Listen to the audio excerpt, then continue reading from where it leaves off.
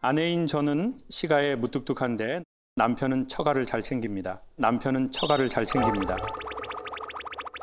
남편은 명절에도 같이 시댁에 가자는 말도 안 하고 시댁에서 오라고도 안 합니다. 제가 각자 집 알아서 챙기자고 했는데 남편이 처가를 챙길 때마다 명절이 부담스럽습니다.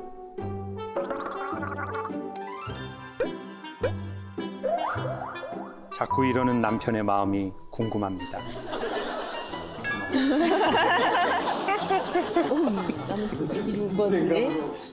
저는 이 여성분이 매우 궁금하네요.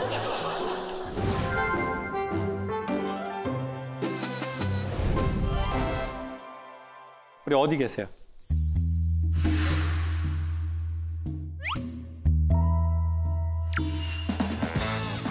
아, 우리 맨 앞에 계시고. 마이크를 한번 주실래요? 남편은 꾸준히 저희 집에다 잘했고 저는 이제 어떤 계기로 인해서 이제 시댁에 갈 수가 없는 제 마음이 그렇게 됐고 명절만 되면 아, 나도 가야 되는데 가는 게 맞는 건데라는 생각이 드니까 이게 좀 남편이 잘하는 게 미안한 것도 있고 민망한 것도 있고 왜 하자는 얘기를 안 하지? 아, 우리 집안에 자기도 잘 좀 잘해. 이렇게 이런 말 아예 안 하세요? 네, 아예 안 해요. 그래서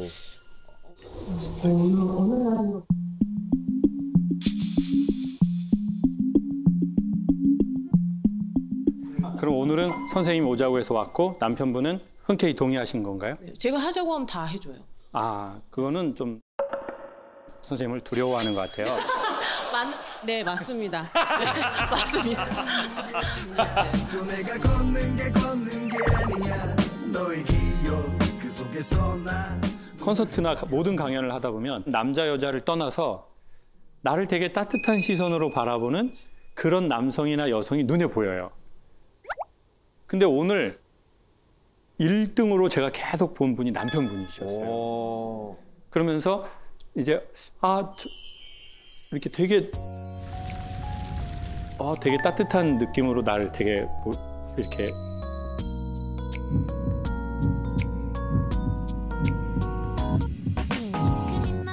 아니 그런 건 아닙니다. 자, 서로 서로 그런 거 아- 아닌데, 아니 진짜 그래서 남편이 되게 궁금하시더라고요. 저는 왜냐면 인상이 너무 좋으시니까.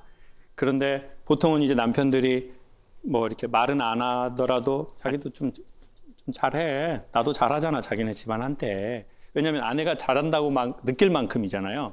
근데 좀 그렇게 말을 안 하시는 뭐 그런 게 있으신 거예요? 이렇게 아니 제가 처가에 잘한다고 생각을 안 하고 있기 때문에 제 집에 잘하라고 말을 못 하는 거죠.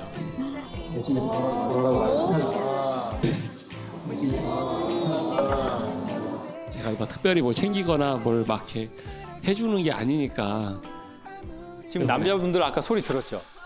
남자가 원래 잘 감탄 잘 안 내거든요. 근데 남자들 아 저 새끼 저 씨.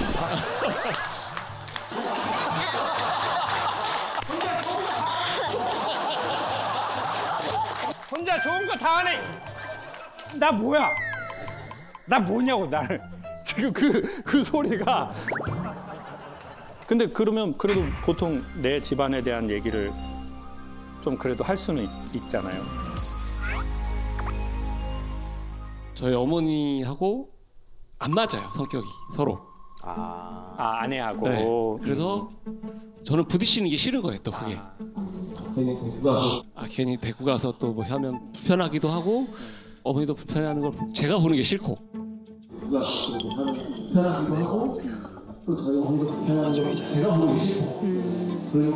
솔직히 아내 집안 분위기가 좀 살갑습니까? 우리 집안 분위기가 좀 살갑습니까? 처갓집이 분위기가 되게 좋아요. 아. 저희 집은 그렇지 않거든요 또. 그러니까 그게 부러웠었고 그렇게 살고 싶다라고 했었는데 그래서 저는 그쪽이 더 좋은 것 같아요. 그래서 그런 분위기가. 분위기가 가면은 이제 어 박수방 왔어 막 이렇게 해주고 농담도 하시고. 어, 어, 서로. 그랬어 뭐 어, 우리 딸 살만해 뭐 이래 어, 너무 미안해 나 항상 아유 박수방 똑같이 얘기하시죠. 어 똑같이 똑같이 나 그런 느낌 느꼈잖아요 나 그냥 처음에 처음에 느꼈어 그냥. 선생님 본가는 좀 엄하세요? 네, 많이 엄격했죠. 그리고 또 아버님은 지방에서 장사를 하셔서 거의 집에 안 오셨거든요. 어려서. 네. 그러니까 쭉 자랄 때까지는 이전에 한두 달 빼고는 거의 못 뵀으니까 같이 뭐 어디 놀이동산도 못 가봤고 뭘 같이 한 기억이 없어요. 졸업식부터 입학식부터 뭐 하- 아예 기억이 없으니까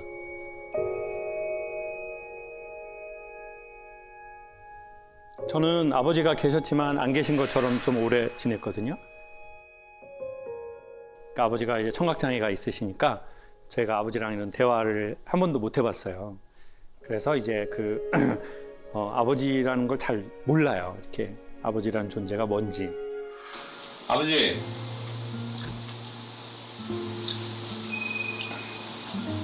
아기 내가 그 존재하고 이렇게 대화도 해보고 어떤 경험도 해보고 어떤 관계를 맺어봐야 그거에 대한 인식들이 생기는 거잖아요. 어, 어린 날에는 아버지가 나한테 간섭을 못하니까 좋- 좋을 때도 있더라고요. 근데 이제 어느 날 나이가 조금 먹으니까 이게 그 뭔가 의자에 앉았는데 등받이가 없는 의자인 것 같은 거예요. 지금 이렇게 등받이에 이렇게 기대고 우리가 있잖아요. 그러니까 조금 오랜 시간 있어도 이제 그럴 수 있는 건데 이제 그게 없는 거죠. 음, 아버지 문제가 이제 그래서 사람들이 제가 이제 유튜브에 강연을 올리면 제일 많은 피드백이 강연이 너무 유쾌한데 눈이 너무 슬퍼 보입니다였었어요.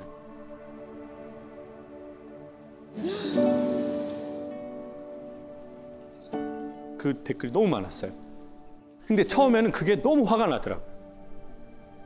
그 화낼 일이 아니잖아요. 근데 그게 나중에 왜 화가 났다라고 느껴지냐면 준비되지 않았는데 나를 들킨 것 같은 느낌. 나는 이 사실을 증명할 준비가 안 됐는데 이 사람이 확 천을 열어버린 것 같은 거예요. 그때 오는 당혹감이 그 사람에 대한 화로 이렇게 가더라고요. 저는 또 그런 생각을 했거든요. 우리 부모님처럼 전 나는 데리지 말아야지. 나는 살갑게 좀 애들한테도 아, 하고 아. 내 애들한테는 친구 같은 아빠처럼 되거나 아니면 진짜 잘 해주는 아빠가 돼야지라고 했는데 일부 또 제가 부모님한테 배워온 것도 있고 습득한 게 아까처럼 그렇게 문득 나올 때가 있어요.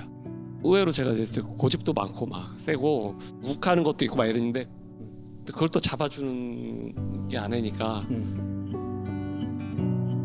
그런 부분에서 또 고마움을 느끼고 저를 거의 만들었다고 얘기하거든요 맨날 못, 못난 사람을 아내가 아내가 많이 만들어줬다고 생각을 해요 못난 사람을 아내가 아내가 많이 만들어줬다고 생각을 해요 못난 사람을 못난 사람을 아내가 만들어도 아내가 많이 만들어도 생각을 해요. 저분 대단한 분이네. 최수종 해라가 나왔습니다. 그리고 저는 또 어머니도 남편이 멀리에 있기 때문에 너 아빠 멀리 계시니까 그거 티 나고 너 어디 가서 너 실수하고 엄마 먹튀라고 그런 거 엄마 제일 싫어. 이렇게 엄마가 했나요? 그렇죠 맞습니다 오늘 빙이 두 번 되네요. 네. 근데 그 당시에는 뭐 보편적인 문화여서. 그러니까 어떻게 보면 그 시대의 엄마들은 더, 더 강해져야 돼. 남한테 손가락질 이런 거 없어야 돼. 이렇게 생각하셨을 거라고. 그래서 사랑의 표현을 그렇게 하신 것 같아요. 언젠가는 우리의 마음에 힘이 좀 더 너끈하게 생길 때 내가 원했던 모습으로 나를 온전하게 대해주지 못한 부모님이라 할지라도 우리가 그분들에게 조금 더 마음의 방향을 움직일 수 있는 때가 왔으면 좋겠습니다. 지금 같은 상황에서는 너무 자주 찾아뵙는 건 전 서로 불편하다고 생각하고 가장 좋은 것은 계좌이체, 계좌이체, 계좌이체라고 생각합니다. 그리고 이제 계좌이체는 제 날에 제일 중요한 그리고 더 티나는 건 어머니들이 드실 만한 요즘에 그런 거 집으로도 많이 배송해 주잖아요. 그거는 가격 대비 효과가 되게 좋아요. 하고 있습니다. 네. 사고 있어요?